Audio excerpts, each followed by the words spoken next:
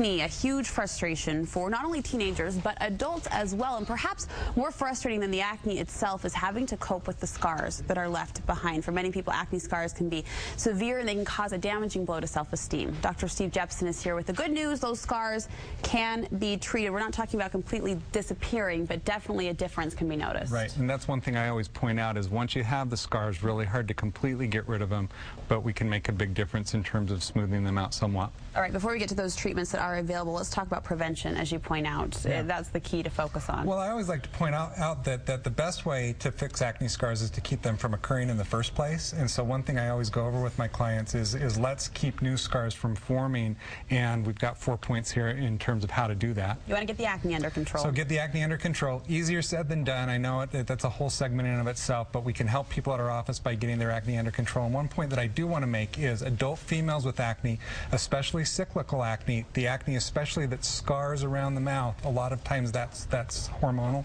And if we can identify the hormonal problem and fix the hormonal problem, that acne will go away and those scars will stop forming. And a lot of people don't realize the connection there though, yeah. but it's a powerful It's, a powerful, powerful connection. connection. and sadly a lot of dermatologists don't even address that. So it's something definitely to, to, to, talk to your doctor about or come see us about. All right, next one sounds like a reminder right here from my mom. Don't pick at yep. those lesions. And I'm amazed at how many people still do. They come in, they say, you know, I know I shouldn't pick, but I picked this one. Mm -hmm. And that will scar. And those are deep lesions. If you pick them, if you pop them, a lot of times it'll leave a scar behind. Not a good idea. An at-home device you say that actually works and helps prevent is just an over-the-counter. Is it Zeno? Is that it's called Zeno. I have Zeno? a Zeno here. You know, it's been out for a couple of years, and the idea here is to deliver heat from the tip of this into the actual lesion. So when you feel a lesion coming on, put it on the lesion, it kills the bacteria, the lesion won't form. It works best for the deep cystic lesions and works definitely best if you use it before the in the first 24 hours. About 150 bucks available. 150 bucks available at most department stores. I think Walgreens even carries it now. Okay, and finally in terms of prevention, you say to avoid cortisone injections. Yeah, don't go, go don't get those cortisone shots. I have a lot of patients that call my office and ask if I give them and I don't do it because cortisone destroys the tissue underneath the lesion. So the lesion will go away,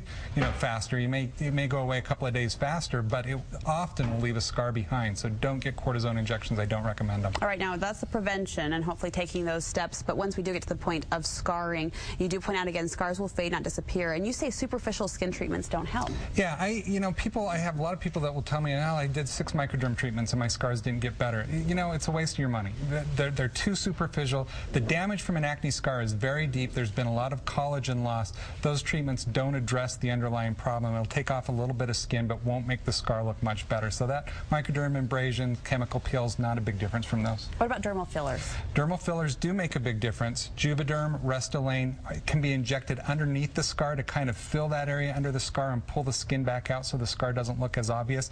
Disadvantage to those is they only last about six months. I typically will recommend those if somebody has one or two scars that really are bothering them. We can fill it, make the scar look a lot better. Okay, so that's an option for certain faces. Finally, the Deep FX laser treatment is a great option, you say, for the overall yeah, scars. I think the best way to treat acne scars now is with laser technology. Laser technology's come a long way. I've talked about various kinds of lasers on the show before. I use one called Deep FX for acne scarring. What it does is it uses the laser energy to go down underneath the scar and stimulate collagen underneath to grow underneath the scar and kind of fill the scar in from below. It's very effective.